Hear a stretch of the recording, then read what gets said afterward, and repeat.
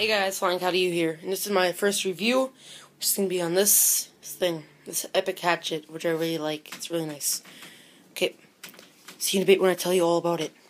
Okay, so here's the hatchet. It's extremely light because it has a hollow handle, which I don't know if you see.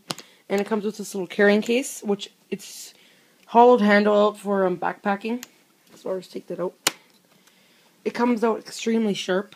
Uh, see it scratched because I used it. It cuts wood pretty much effort effortlessly. But the one downfall is um, if you're hammering a nail with the backside, if you miss, it might break your handle because it's hollow and it's not as strong as wooden ones. But this thing, this thing's uh, you, you pretty much effortlessly, that would, about that would chop like a log in half. It's really good. I got it from my Canadian Tire for 30 bucks. It's Canadian money, not American or something like that. A little bit of stuff in the back wearing iron jutes shoes and that. Yep, those are the people who made it. Really good axe. There's big ones and small. This is the smallest one. So one to fit on my backpack.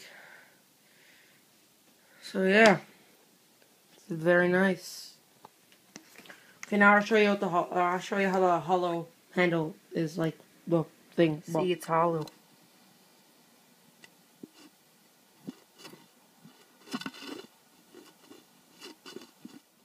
Well, that wraps up our first review. And so yeah.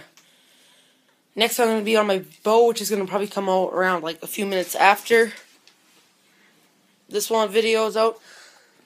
Com comment and like and subscribe if, if you like it. And also make sure you subscribe, especially. So you become an E. Bye.